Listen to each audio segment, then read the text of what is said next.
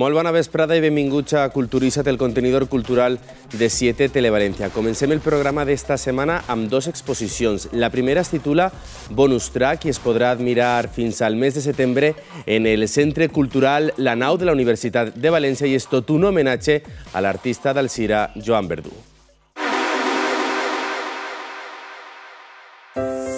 El Centre Cultural de la Nau de la Universitat de València exhibeix l'exposició Bonus Track, una selecció de 30 pintures inèdites de l'artista d'Alcira Joan Verdú, mort el novembre de 2017 per homenatjar la seva trajectòria artística caracteritzada per la crítica, la ironia i el doble sentit. La mostra d'art pop que compta amb quadres acrílics, tríptics, serigrafies i una escultura es divideix en tres sèries – la primera reflecteix imatges de la cultura popular a través de la reinterpretació de missatges cinematogràfics o de tires còmiques. La segona està inspirada en la teoria de la comunicació del filòsof McLuhan, mentre que la tercera presenta la seva producció final. Luego en medio está el mensaje, es un poco más filosófica. Y la última es la de Monster, Casa con monstruos, supongo que eran monstruos que él veía o tenía en su casa. Todas son inéditas excepto los trípticos del fondo. En esta última etapa titulada Monster, Verdú va treballar el món Dailyland, una construcció de tot el seu imaginari des de l'ego i per a això llegia llibres de filosofia ja que volia fer un pas més filosòfic en la seva obra. La sèrie Monsters inacabada a causa de la mort de l'artista la completa la comissària Mavi Escamilla amb tríptics en acrílics i fotografies que l'autor va exposar en la Galeria Valenciana Mr. Pink per a plasmar el setxell de Joan, el seu punt y la técnica del acrílic molt figurativo y virtuoso. En esta última etapa estaba trabajando sobre todo, como he comentado antes, el mundo de Land, resaltándolo sobre todo, y ya nos ponemos en la etapa Monsters. Tú ves a los monstruos y los ves como muy adorables, pero realmente son todos los monstruos que tenemos como humanos nosotros escondidos detrás. Es, es más bien, eh, por ejemplo, hasta el sillón del psicólogo, tiene sus monstruos, todos tenemos nuestros monstruos, juega mucho desde el ego, desde el yo.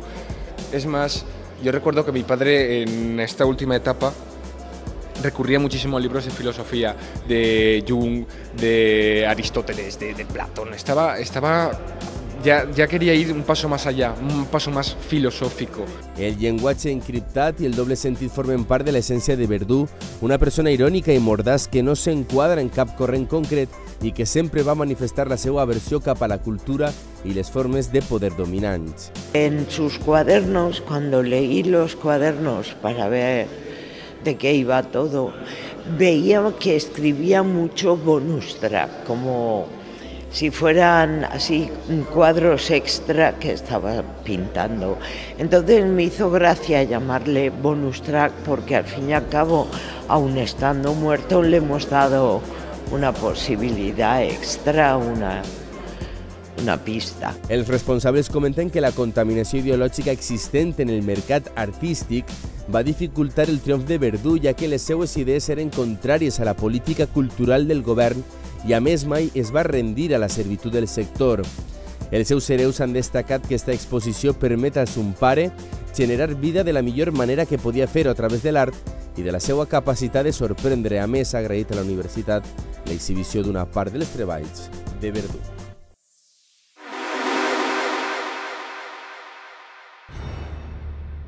L'univers Harry Potter arriba per fi a en forma d'escape room la màgia i el món que va crear J.K. Rowling es converteixen en absoluts protagonistes. Els seus responsables han vist en esta saga màgica un filo en el qual els seus seguidors poden experimentar el que senten el propi Potter, Ron Weasley o Hermione en els salons de Hogwarts. Es algo que tiene mucha acogida, nos lo pedía mucha gente y nos decidimos a ello. Llevamos mucho tiempo trabajando en esta sala, casi nueve meses, y, y bueno, nos ha salido una sala muy bonita, muy chula y que seguro que a la gente le encanta. Tal ha sigut l'acolliment pels fans de les aventures de Harry Potter que les demandes i les reserves per a viure l'experiència han arribat a dotzenes, arribant a ocupar gran part del calendari. Ya ha sido una demanda increíble, prácticamente el primer mes ya no, no nos queda nada y, y para más adelante incluso nos han llegado reservas para noviembre, o sea que estamos muy contentos la gente ha respondido muy bien. a esta nueva sala.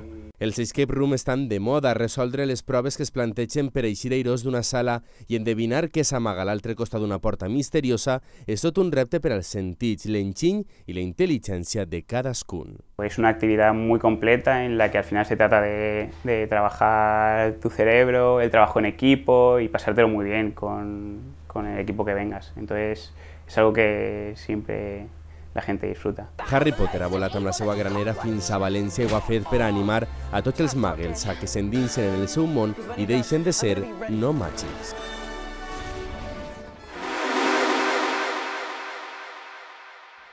Ens trobem amb el grup del moment, són els Bombay. Buenas chicos, bienvenidos a Culturizat. Hola, tal? Producto 100% valenciano, ¿no? Por lo que veo. Denominación de origen, como la naranja. Oye, ¿de dónde, ¿de dónde surgís? ¿De dónde surge Bombay? Eh, ¿Cómo nacéis? ¿Cómo os creáis como grupo? Mira, nosotros somos tres amigos que nos conocemos desde pequeños, desde el mismo colegio, ¿no? Vamos al mismo colegio, diferentes edades, pero sí que nos conocemos de, del cole. Y bueno, cada uno ha llevado su vida musical y su, su, hobby más querido por separado, hasta que decidimos hace unos cuantos años pues, juntarnos para hacer algo positivo, que molara, que música que nos gustaría escuchar, eh, transmitir mensajes pues con positividad y con un cierto compañerismo y, y, esto es Bombay, realmente, sonido playero y... Pero creo que al principio cada uno ibais por vuestra cuenta, ¿no? Hasta que decidisteis juntaros. Eso es, lo que un poco he dicho, que cada uno, pues eso, Vicente por ejemplo tocaba en otro grupo, Ramón hacía sus cosas por solitario, yo también, y hasta que al final decidimos juntarnos y decir, oye, ¿por qué no hacemos cosas, algún que, proyecto juntos? O sea, que ese matrimonio de tres ha sido buena idea de momento, ¿no? Sí, es un, es un trío. Verás a Podríamos decir. Oye, estáis de estreno, ¿no? Superhéroes es vuestro último videoclip o vuestra última canción, vuestro último eh, tema que está eh, sonando en todas partes. Un tema muy positivo, como viene siendo habitual en Bombay, ¿no? Sí, eh, superhéroes, la verdad es que tenemos mucha suerte de haber podido tener un, nuevo hijo que le llamamos nosotros y, ya lo tenemos rodando y sonando en un mogollón de radios y estamos muy contentos y siempre intentamos hablar de superación y de positividad porque al final creemos que es un mensaje, la música sirve para eso, para transmitir un mensaje y es nuestra forma de, de transmitirlo. Así que ahí queda Superhéroes para que lo escuchéis todo el mundo. Vuestra carta de presentación yo creo que a nivel eh, nacional o para todo el público yo creo que eh, ha sido ese Solo si es contigo, ¿no? Que además tuvisteis la suerte de cantar con, con Bebe. ¿Ha sido un poco vuestra hada madrina en este, en este sector, en esta industria? Eso estuvo guay. Eh, nosotros sacamos el primer single, que fue... Bueno, lo sacamos antes, lo editamos aquí a nivel local, sonó en Valencia, con una campaña de adopción de animales, se hizo eco a nivel nacional y luego... Palma la creo que fue. Eh, exacto, cogió el, tema. Correcto. Luego la editamos para que saliese a nivel nacional con un artista de renombre. ¿A quién buscamos para que mole, no? Para hacer una colaboración tal, pues dijimos varios nombres y salió Bebe, que es una compañera que la verdad es que también lo que ella proyecta a la gente también es esa alegría, ¿no? ese, ese cachondeo, esa historia que, que, es lo que nosotros queríamos reflejar también. Entonces, pues fue, fue una fusión perfecta, al final salió bien. Eso y, quería saber, ¿cómo se gestiona esa, esa colaboración? ¿Quién llama a quién? ¿Se lo piensa, no se lo piensa? No, pues entre las oficinas, las compañías, pues son al final son negocios, ¿no? Y sobre todo es muy importante que a Bebe le gustó el tema, le encantó y enseguida nos metimos a grabarlo. Entonces fue muy fácil. He leído por ahí que al principio de todo, bueno, al principio de vuestras carreras habéis tenido más, más momentos malos que buenos.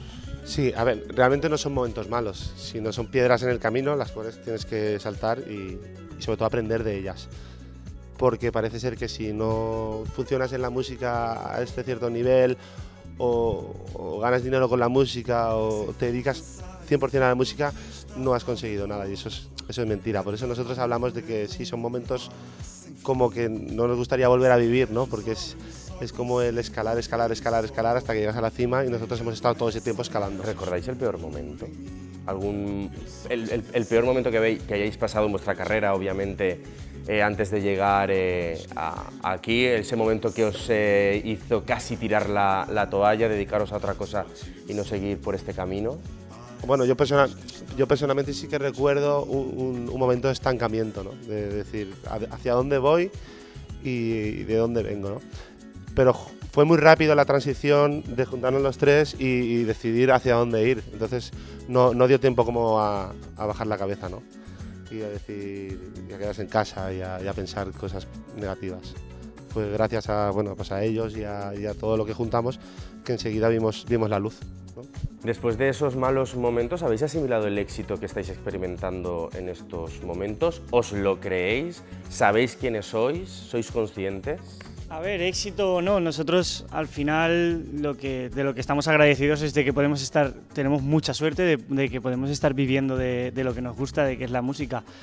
Y obviamente hay momentos duros que hay que pasar y, y- aún nos quedan momentos duros por, por pasar más adelante seguramente, pero que al final somos tres, creo que es, que es una de las claves de- del proyecto, que somos tres que nos podemos apoyar, que pasamos momentos duros por supuesto, pero estamos ahí y si sabemos lo que tenemos, bueno, eh, somos, somos muy agradecidos por ello, pero, pero creo que tenemos que, eso no, no significa que nos podamos relajar, sino todo lo contrario, es una motivación para seguir trabajando y seguir dando duro. De eso hablábamos antes de empezar la, la entrevista, de que ahora toca manteneros, por lo menos de, de mantener lo que, lo que habéis conseguido hasta el momento. Yo creo que eso no lo experimento, obviamente, porque no estoy en vuestra piel, pero me imagino que eso será muy duro también. El no bajar la guardia, en componer temas que sean igual de exitosos que los anteriores, ¿no? Es que claro, se habla de éxito y se habla de fama y se habla de tal cuando realmente aquí lo que estamos es trabajando. Es, eh, igual que el éxito y la fama que tienes tú, por- o Bueno. la que tiene mi padre, que es, que es mecánico en un taller, la que tiene mi madre, que es funcionaria, pues, pues al final es funcionar, es trabajar, es el día a día y exacto, mantenerse es lo complicado. Sí, pero tu trabajo tiene una repercusión que a lo mejor el mecánico no tiene. Una Bueno. repercusión pública. Sí, exa- exacto, estamos en la palestra pública, somos, sí, puede ser, pero eh, para, para mi, o sea, mi opinión y mi criterio personal es que es lo igual de válido, o sea, es, igual de sacrificado, es igual de, de válido y al final, pues, por ejemplo, yo he hablado de mi padre porque, porque es un, Sí, sí, pues, un humilde trabajador que, que ha sido padre de familia y ha tenido que sacar a una familia adelante y se le ha currado trabajando 12 horas al día, entonces yo soy otra persona que también curro muchas horas al día en lo que a mí me gusta para sacar también una familia adelante, para poder vivir bien y, y- pero es lo que tú dices, sí, es complicado mantenerse. O sea, hemos- nos hemos puesto el listón tan alto con el primer single, Es con que estos singles, claro, ahora, claro, que, es que que- ahora mantenernos hay que trabajar, es que hay que trabajar muchísimo, entonces lo que no tenemos que hacer es bajar la guardia, hay que currar, currar y currar. ¿Qué hacen los Bombay cuando currar, trabajar y hacer el tonto también, pero currar. Antes, antes de venir a la entrevista he leído un tuit que decía algo así como es, eh, es muy tonto pensar que, la- que el trabajo de un atleta solo dura lo que dura la carrera. Antes y después hay mucho trabajo. En vuestro caso, en el caso de los músicos, de los cantantes de un grupo como vosotros, sería igual, ¿no? El- vuestro trabajo no solo dura lo que dura un concierto o lo que dura una canción, ¿no? de hecho es, es, la, es la mínima parte que se ve.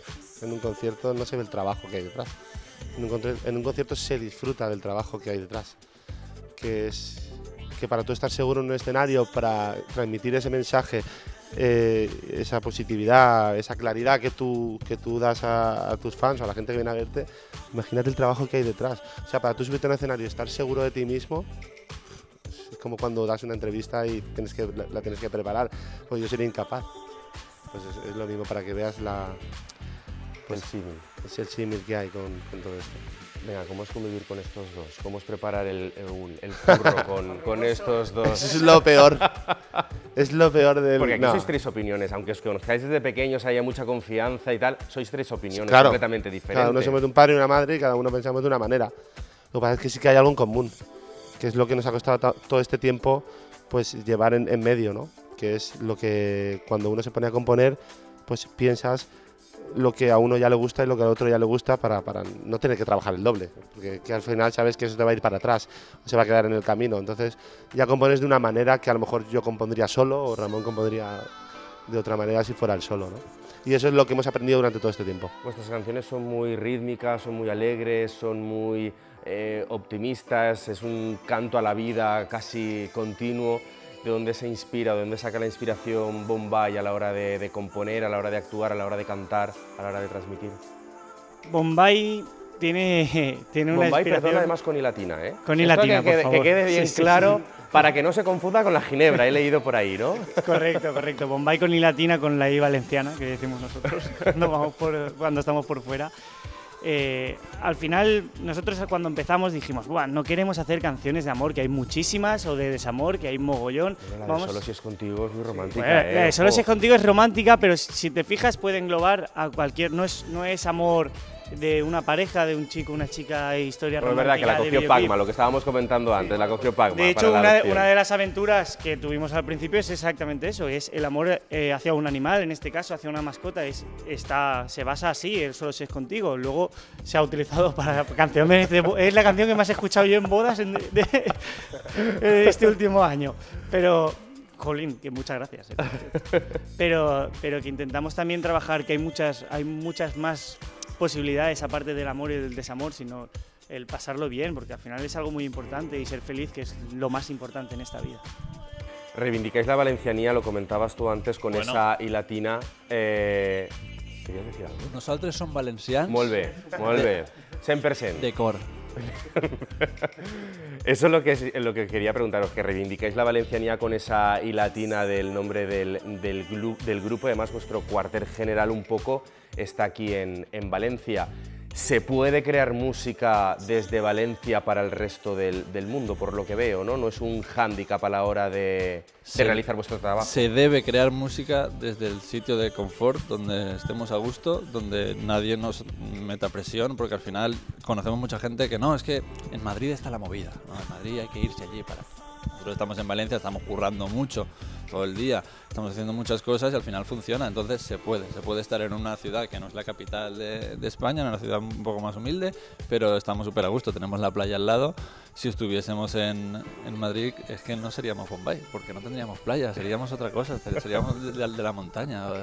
tal. Entonces, y nosotros, sí, eh, nosotros somos valencianos y cada vez que vamos a algún sitio por toda España lo, lo reivindicamos y queremos hacer eh, marca ¿no? de, de valencianismo por donde, por donde vayamos. Pero no os, no os obligan a dar el salto a, a Madrid o Barcelona, es decir, que os instaléis No, allí no, para vamos. seguir Yo espero que a mí nadie me obligue a, no, es que tienes que mudarte a Madrid para qué tal, porque yo aquí tengo mis cosas, mi familia, mis amigos, mi música, porque es que te digo que no sería lo mismo yo estar en, estar en otro sitio y, y tener que crear para, para Bombay. O sea, el clima os inspira también, por lo que veo, entonces, ¿no? Es que es una de las cosas más- más importantes al final, el rollo así No, no, luego, caribeño, hawaiano, tropical. voy, por favor, es terrible. es, es algo que, que es muy importante para Bombay. Eh, ¿Cómo se os presenta el verano? Porque os lo he preguntado antes y me comentaba Javi, realmente no hemos parado. Llevamos como año y medio eh, currando sin, sin parar y el verano se presenta calentito. Nunca mejor. Calentito sí, calentito sí. No, lo que hablábamos antes, antes de, de grabar, que, que llevamos desde que empezamos, desde que salió el single, pues sin parar, ¿no? La gente nos ha pedido mogollón y hemos ido a todos los sitios donde, donde han querido que vayamos y ahora estamos en ese momento en el que no debemos parar. No debemos parar. Y que además no os podéis negar. No nos podemos negar, es- tampoco queremos. Ya, ya, claro, claro. Lo único que sí que, que notamos que a nivel de, de salud, pues empiezan a haber algunos baches. Pero, y a lo mejor sí que hay que hacer un- unos días de, de descanso, o de no cantar, o bueno, esas cosas. Pasa al 100% siempre. Pero sí que llevamos un año y medio. Es que realmente no sé cuánto tiempo llevamos, pero un año y medio. Sí, un año y medio. Este es nuestro segundo verano fuerte, va a ser, como aquel que dice. Entonces, sí, dos años casi. Muchas fechas entonces, deduzco, muchos conciertos a lo largo y ancho de, de España, me imagino. Sí. De momento vamos a estar girando todo el verano por, por todo el país, casi todos los sitios. ¿Y qué le vais a ofrecer al público? Pues nosotros lo que le ofrecemos siempre, pues naranjas, ¿no? De- Agua de fruta, Valencia. piñas, ukeleles. Al final lo que llevamos es un concierto, un concierto con la banda en eléctrico y en algunos sitios en acústico donde ofrecemos pues todo lo mejor de nosotros, ¿no? A nivel musical, que es un concierto súper, súper, pues eso, súper ambicioso, con muchas ganas de pasarlo bien, donde la gente hacemos partícipe que cante las canciones que aún no se conoce y eso a nosotros, nos hace pensar que, esa canción puede funcionar y lo hemos venido viendo durante todo este año, ¿no? que, que la gente se lo pasa pipa en esos conciertos. También hacemos alguna cover de otros artistas que la gente se, le viene muy bien a la hora del show y eso pues nos, nos encanta y la gente se lo pasa súper bien. Ese es el objetivo. ¿Cuál es el futuro de, de Bombay? ¿Por dónde pasaría el futuro más inmediato? No sé si por descansar o por continuar rodando, continuar eh, girando. Mm, Vamos a girar, vamos a girar hasta que el cuerpo nos lo permita Eh, de hecho, el día No, 8... Tampoco hace falta morir en el intento. no, no. Esto me Cuando- encanta, este momento me Mira encanta. cómo a mí. gira. Me chifla. Esto me chifla. El...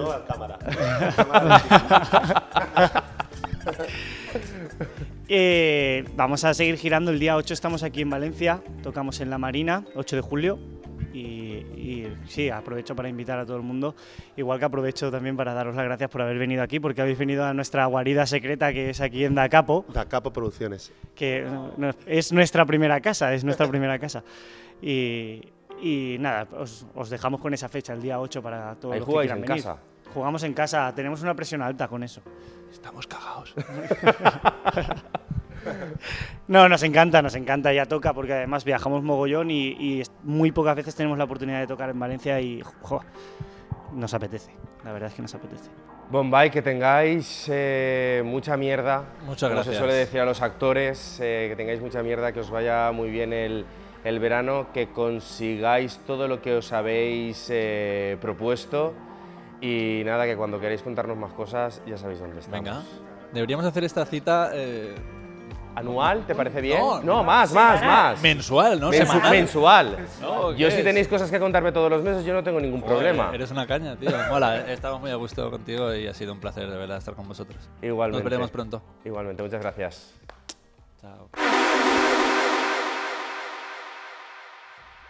Esta setmana també tenim estrenes cinematogràfiques, però si no sabeu quines són les pel·lícules que teniu que anar a veure i que no us podeu perdre, presteu moltíssima atenció al nostre crític cinematogràfic particular, Sergio Castellote.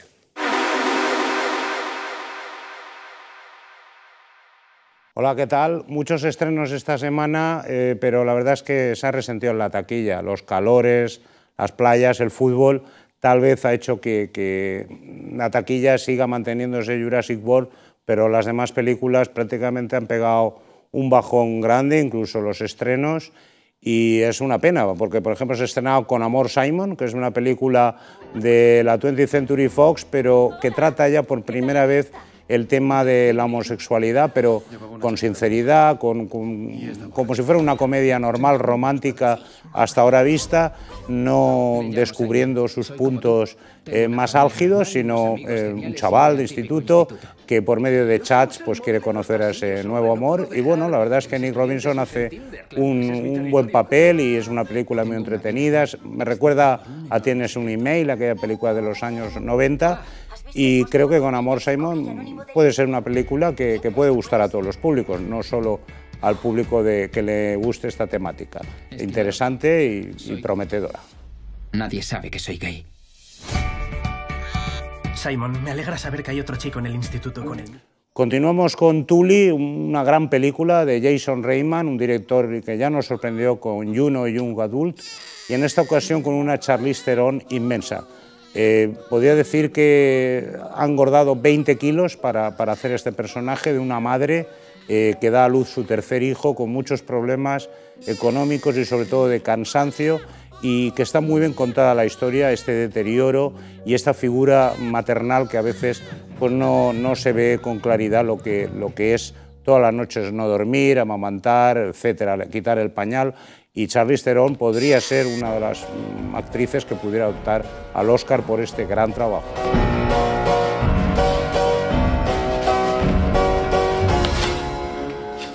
Hereditary es una película de terror, eh, pero para mi gusto, una de las mejores películas de los últimos 15 años o 20 del cine de terror. Y lo digo contundentemente, creo que, que esa atmósfera que brilla, malsana, heredada del gran Polanski, de los tiempos de la semilla del diablo, incluso de Stanley Kubrick, El Resplandor, nos sumerge en la historia de, una familia normal de clase media norteamericana, eh, muy bien interpretada la película por Tony Collette y Gabriel Byrne como padres de esta familia, que a partir del fallecimiento de la madre de ella eh, sucumben en un estado eh, inmerso, sobre todo muy profundo en, en- lo demoníaco. Recuerda mucho también momentos del exorcista, pero mm, no hay sangre, y- pero hay una tensión y una especie de, de círculo que al final, eh, una historia la verdad que sorprende al espectador hasta el último giro, nos deja con un sabor de boca inmenso. Para los amantes del terror, Hereditary es una de las mejores películas de los últimos Sus tiempos. amigos íntimos. ¿Quién cuidará de mí. ¿Crees que no pienso cuidarte? Nos ha llegado también la típica película familiar para niños, Superagente Canino. Es una película pues entretenida, sencillita, eh, dirigida por Raya Gosnell, que ya había hecho incursiones de este tipo como Los Pitufos, y en esta ocasión, pues bueno, es un perro que ayuda a un agente del FBI, un perro eh, policía, a descubrir sobre todo eh, a una banda de ladrones de animales y a perseguir sobre todo recuperar un, oso panda.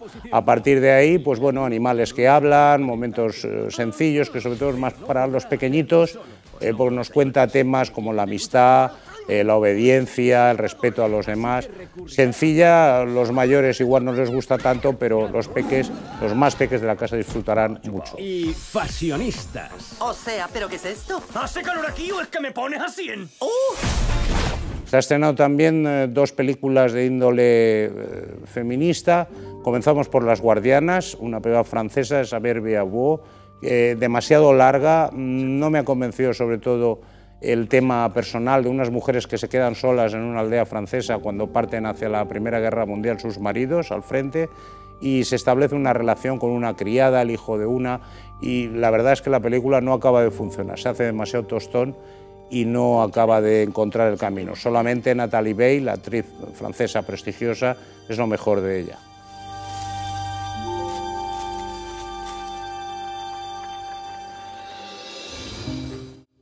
El Orden Divino es otra película de nacionalidad suiza que también nos habla eh, del tema de la mujer. En esta ocasión, eh, un caso real sucedido en 1970 en una aldea de, Suiza en el cual las mujeres no podían ni votar, no optaban ni al sufragio. Entonces ahí se ve un poco como una madre de familia eh, relacionada en unos ámbitos un poco clandestinos con otras mujeres, consiguió a partir de ahí eh, alzar la voz eh, ante unos maridos implacables y consiguieron pues, que a los 10-15 años se hiciera este sufragio. La película está bien contada, mm, la verdad es que le falta un poquito de, composición, sobre todo técnica, pero es, es agradable de ver. Conozcamos nuestras vaginas, hagámoslo. He aquí el ojo de Dios. ¿Qué ha dicho? Y la semana que viene pues, eh, vendrán más estrenos también importantes. La playa de Chesil, una película, una comedia dramática que, puede estar bastante bien. Se estrena Oceans 8, que también, eh, por supuesto, tendrá un buen cartel y otra serie de títulos, hasta 14 que podremos ver, y la valenciana Formentera Lady, que se rodó entre Formentera y Valencia y que cuenta con José Sacristán y creo que será una película bastante interesante.